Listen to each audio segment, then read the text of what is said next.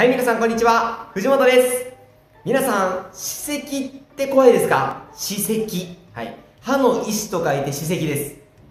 うわもう歯磨きしてるのに歯石ついちゃった。もうどうしようやばいっていう形で、まあ、結構ね、あの、歯石イコールむちゃくちゃやばいみたいな形で、えー、どうしても怖がってしまう方は多いです。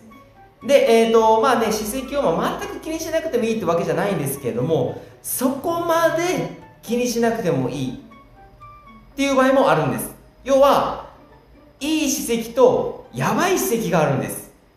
それをね、今日ちょっと、あの、カエル様の方でも調べられる3つのポイントを今日用意しましたので、これをね、知ると全然歯石なんか怖くなくなります。ので、最後まで見ていただけたらと思います。では早速ですね、その3つのポイントのまず1つ目。歯石がまあついてるとします。ついてるとします。ついてますよ。ついてるんですけども、歯茎が痩せていますか？歯茎が痩せているかどうか。それをチェックしてください。歯石が、ま、歯があって、まあ、歯肉がありますよね。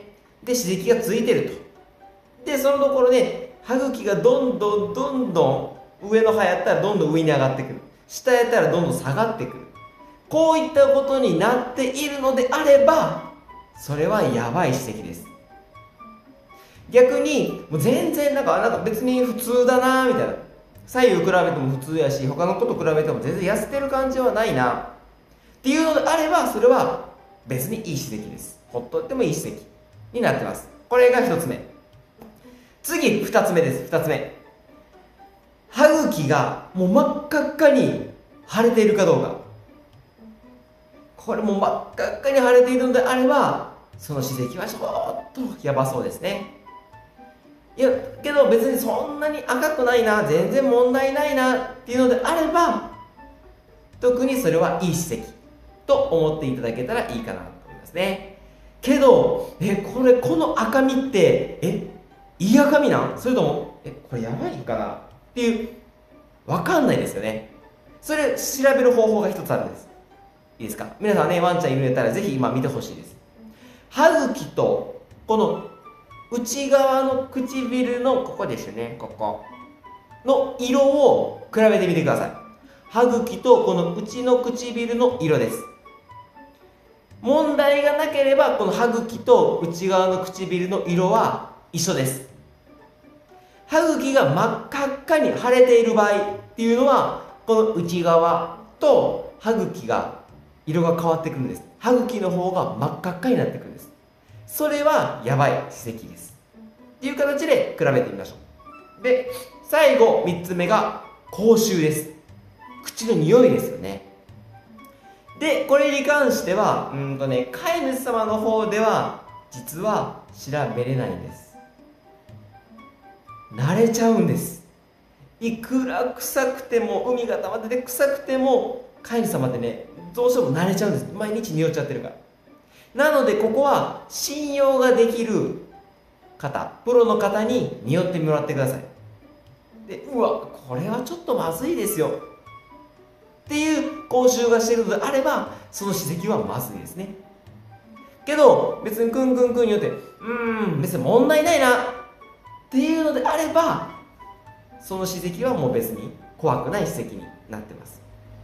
っていう形でこの3つのポイントっていうのがありますのでそれをそれを知っていただいてでチェックしてもらってこの今の歯石っていうのは問題あるのかないのかっていうのを知っていただけたらと思います。ではですねこのまあ歯石ってわもうちょっとけどそれちょっと怖いなっていう方この3つをチェックするんやけども宿題ぜひ取り組んでほしいなと思います。これはもう今すぐにうーん1週間以内にはできます。間違いなく。できることなので、ぜひね、やってほしいことになります。では今日の宿題はこれです。はい、という形でですね、えー、この3つ、えー、チェックポイント出しました。こういった形です。はい。1番が歯茎が痩せている。2番、歯茎が腫れている。3番、口臭です。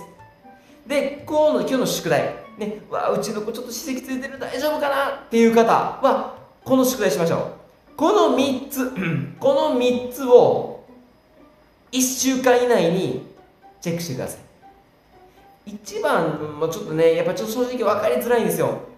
もうこれ今のが今の現状普通なのかどうか分かりづらいただ2番に関しては今すぐにできます今すぐにチェックしてみてくださいで1番と3番に関しては、えー、とこれはねちょっとどちらかというと、まあ、プロの方に見てもらうのが1番ですねちょっと勘違いしてしまうことがありますので1番と3番はこの1週間以内にプロの方に見てもらうこと。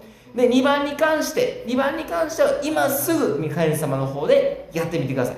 それをこの3つのうちを当てはまらないのであれば気にしなくてもいい。一つでも当てはまってくるのであればそれはやばい指摘だと思っていただいたらいいかなと思います。っていう形でですね、えー、と今日から明日からやっていくっていうのをここのね動画では配信していきますのでまた明日も楽しみにお待ちいただけたらと思います。ではまた明日お会いしましょう。さよなら。